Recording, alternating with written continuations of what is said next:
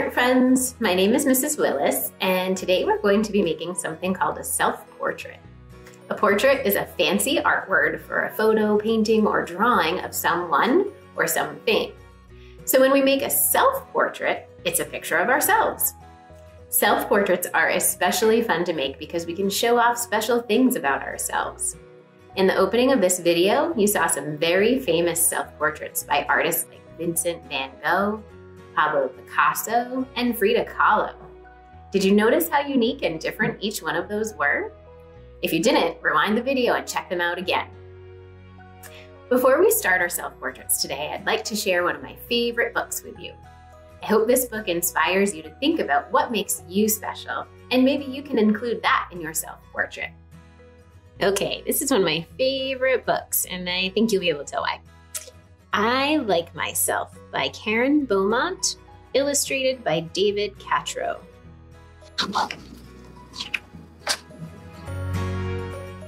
I like myself. I'm glad I'm me. There's no one else I'd rather be. I like my eyes, my ears, my nose, I like my fingers and my toes. I like me wild. I like me tame. I like me different and the same. I like me fast. I like me slow. I like me everywhere I go. I like me on the inside too for all I think and say and do. Inside, outside, upside down, from head to toe and all around. I like it all. It all is me, and me is all I want to be. And I don't care in any way what someone else may think or say. I may be called a silly nut or crazy cuckoo bird. So what? I'm having too much fun, you see, for anything to bother me. Even when I look a mess, I still don't like me any less. Cause nothing in this world, you know, can change what's deep inside. And so, no matter if they stop and stare, no person ever anywhere can make me feel that what they see is all there really is to me. I'd still like me with fleas or warts or with a silly snout that snorts. Or knobby knees, or hippo hips, or purple polka dotted lips.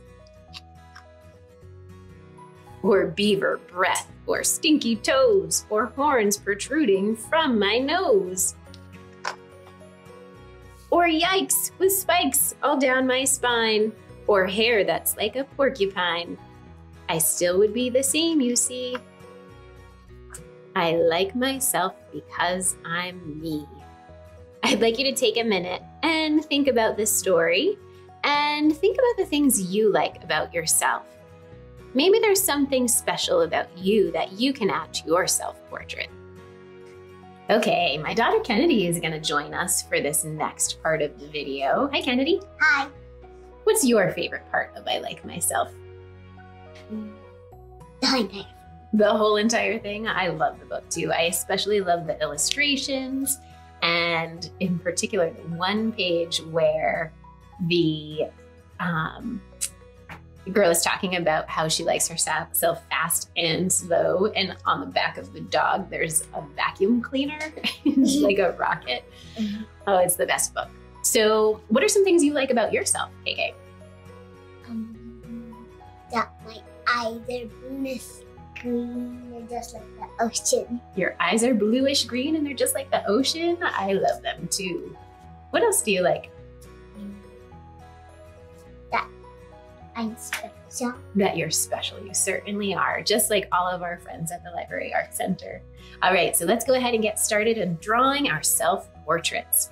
So, we're gonna start by thinking about the shape of our face. And if you happen to have a mirror close by, keep a mirror close by so you can look in there every once in a while and really study what you look like. So we're gonna start with a basic oval. And we're gonna make it a pretty big oval. I'm gonna start way up here at the top of my page. And I'm gonna make an oval that comes down like this. There we go. KK, you wanna give it a try? Mhm. I'm drawing really light. I always draw light until I get it right. Then I can go over it and make it darker. There you go, Kennedy. Why don't you give yours a try?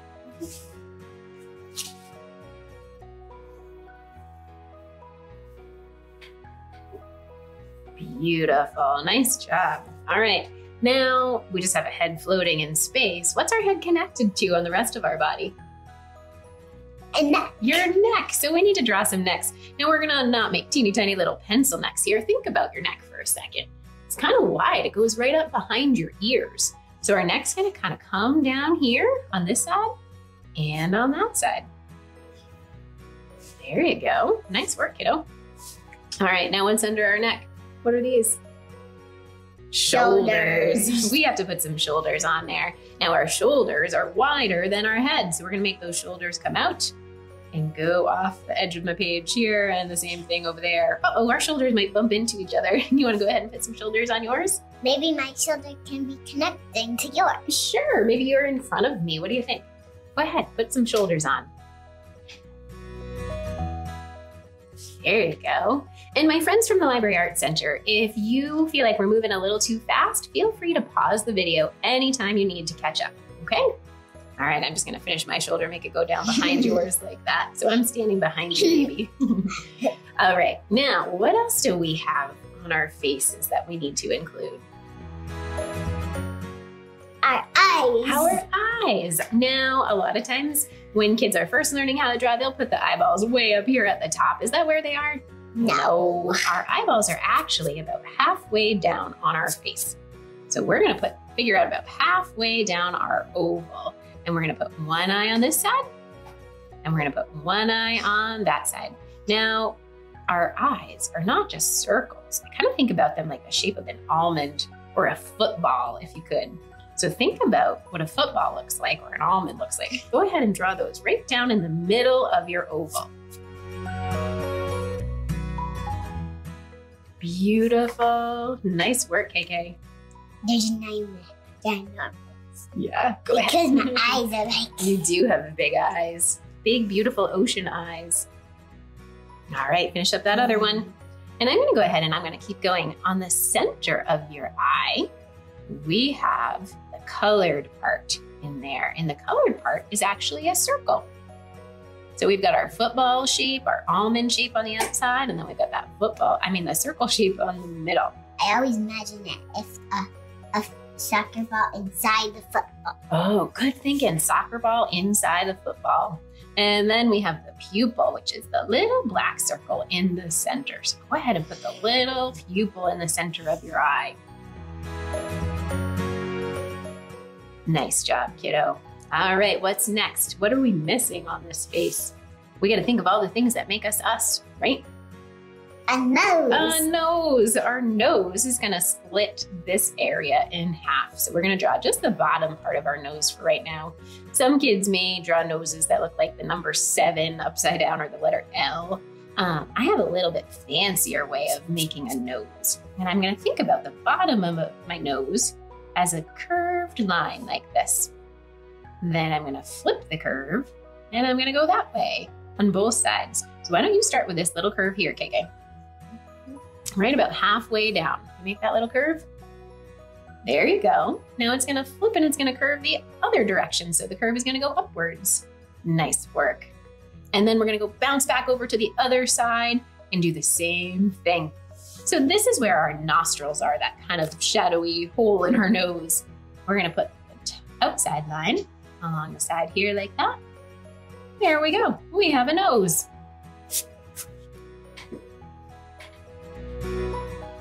Beautiful. All right, kiddo. So now we have to make our mouth.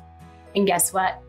Sometimes kids just are famous for drawing one little line like that. Do we only have one lip? How many Yeah. do we have? Two. Two lips. So we've got to actually create two lips, one on top and one on the bottom.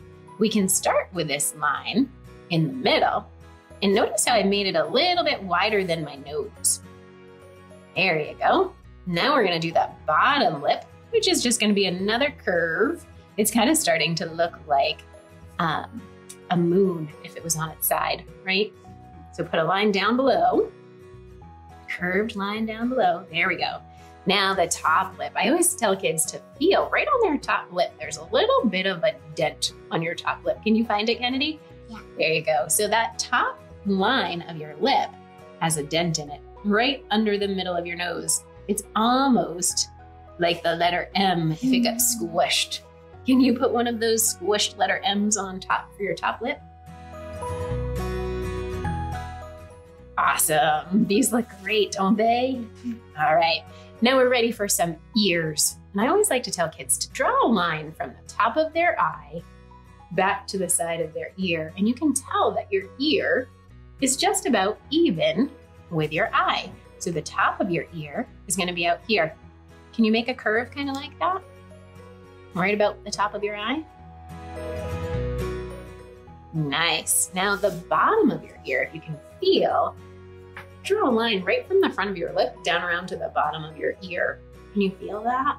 So the bottom of our ear is actually somewhere down in here. Now, sometimes kids draw ears like a big letter C. That's fine if you're looking at someone from the side, but when you're looking at someone from the front, you don't see that big giant curve. It's more of a flat curve like that. So go ahead, KK, put your ear in. Ear. yeah, it looks good though. I like it. So we're gonna do the same thing over on the other side. So we're gonna kind of connect over onto the other side, draw that line, make it drop all the way down to our mouth area. Now I've got to tell you, KK knows this already, but I have something very special about my ear. I have a little bump. I call it my birth bump on my ear, and I've never seen anyone else in the whole entire world with one of these little bumps on their ears. So I'm gonna go ahead, and mine is on my right ear. So I'm gonna actually put it over here on this side, and I'm gonna put this little bump, just like I have in real life, on the bottom of my ear. Do you have anything special about your ears? that I have clip-on earrings. you have clip on earrings. Yeah, maybe you want to go ahead and put on some clip on earrings. I have a tendency just to wear some little stud earrings, so I'm to put these right on here like that. Go ahead, put some earrings on if you want, KK. So don't forget those things that make you special. I have a birth bump, but maybe you have a birthmark, or maybe you have a freckle, or lots of freckles. Maybe there's things that are special about you that you wear glasses, so you need to include your glasses. Whatever makes you you, I want you to include in this self portrait today. Oh, that looks awesome. You Very have jingle cool. ball earrings. I do have jingle bell earrings that I wear at Christmas time, right? Mhm. All right, while Kiki's working on her earrings, I'm gonna go ahead and add some eyebrows. Your eyebrows are right up over your eyes, and they usually look something like this. We can put a line here like that. So it curves above your eye. And maybe if you wanna actually put in those little strokes to make it look like there's actual hairs up there, you could do this.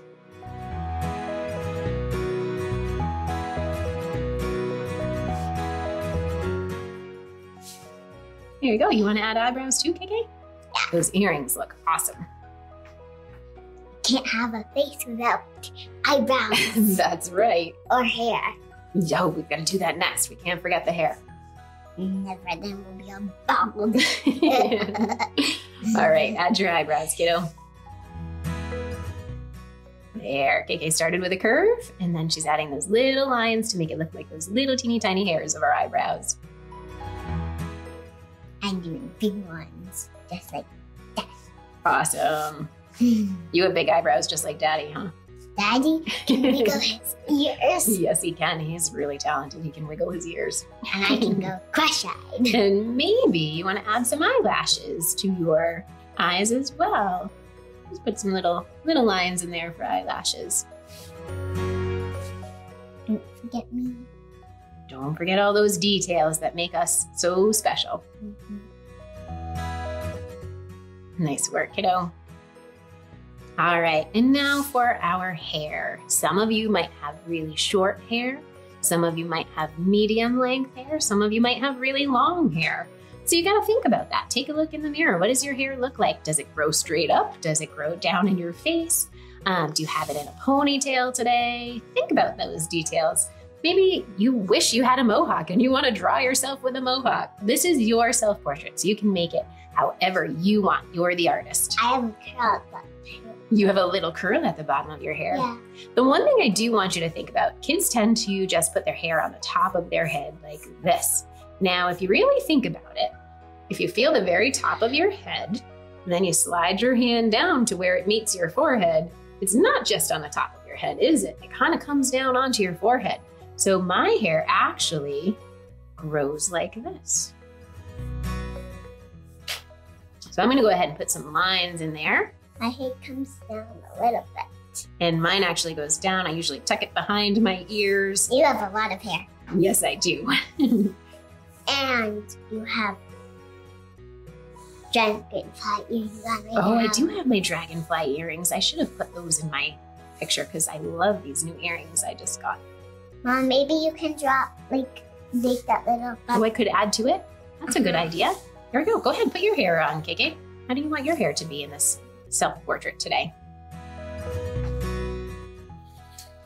So there we go. There's all the details you need for your self-portrait. And don't forget, if you need to go back, rewind the video to a special part. Maybe you missed something on the eyes or you want to touch up your mouth and change things. What about our nose part? Oh, we did the nose. Nose Yeah. is there. But- Oh, you're thinking about like the sides of the nose. If you want, you could put a little bit of a line in here, hint of the edges of your nose. That's fine with me too. Okay, so Kennedy and I are gonna go ahead and we're gonna fast forward the video as we color these in, but you can use anything you have to color crayons, colored pencils, markers. You could even paint on these if you want.